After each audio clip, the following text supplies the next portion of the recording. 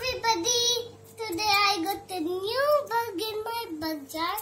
Today I got three new bugs.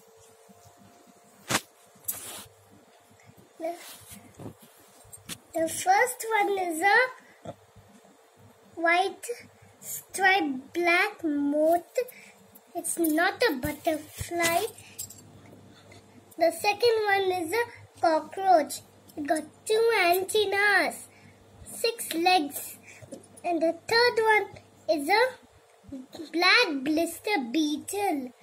It got two antennas, six legs, head, thorax, abdomen, abdomen, head, thorax, abdomen, abdomen.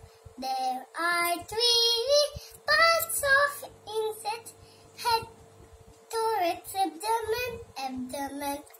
Good night, everybody. Goodbye, everybody.